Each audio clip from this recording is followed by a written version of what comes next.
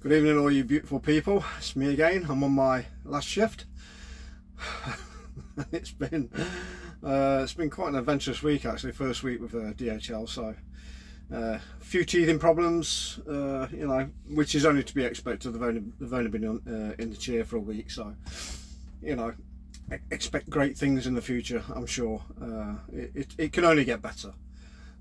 I hope, but you know, it is what it is. It, all trucking firms are the same. When they take over, you know, there's there's always going to be issues here and there, and then you know they they set up their own train set, and then you know things start running smoother. However, last night was was an absolute nightmare. I only had a, a, a run down to Ashford with an empty trailer. It took me two hours uh, before I got an empty trailer.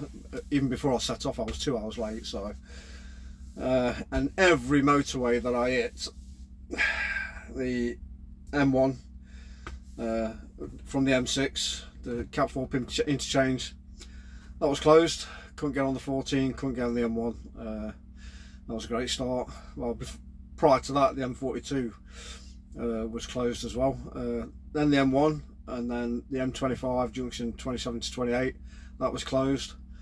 Uh, obviously had to go down the M11 and then cut across 13. 13 was closed.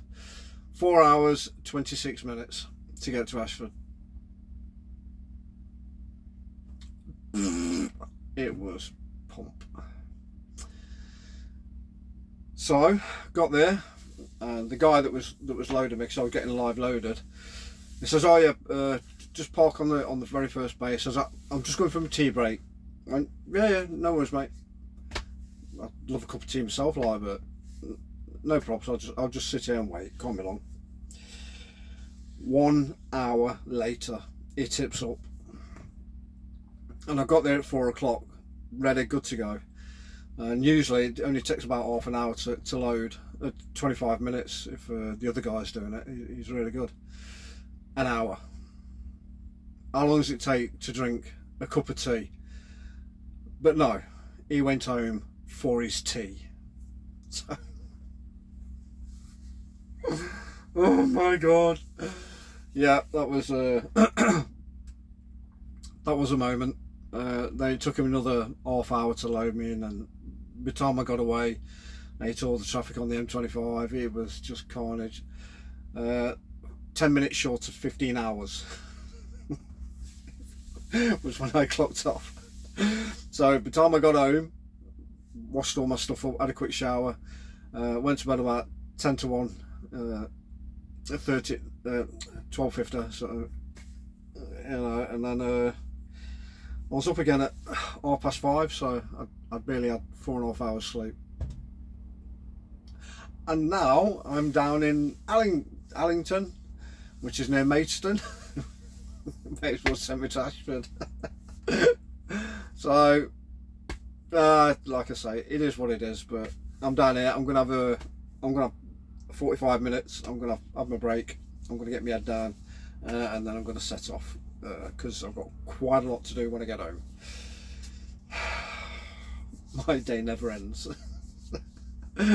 so I hope you all have a great weekend.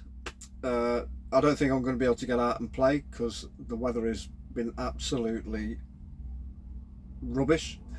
So um, yeah, I'm going to spend some time with my grandson. I'm going to take him to a soft play area. Uh, um, I'm going to chuck him in the ball pit. I'm going to dive in there myself. Throw all the other kids out. And it's just my grandson. So yeah, it's going to be it's going to be brutal this weekend. He's, he's going to love it. So uh, yeah, I'm looking forward to that. So like I say, hope you all have a fantastic weekend. Um, drive safe, stay safe leave a comment, like and subscribe, and I'll see you crazy cats on. No, I won't, because I'm off. I'm off Sunday and Monday night. However, I might ping ping out a few videos. We'll see. All right, guys. Cheers.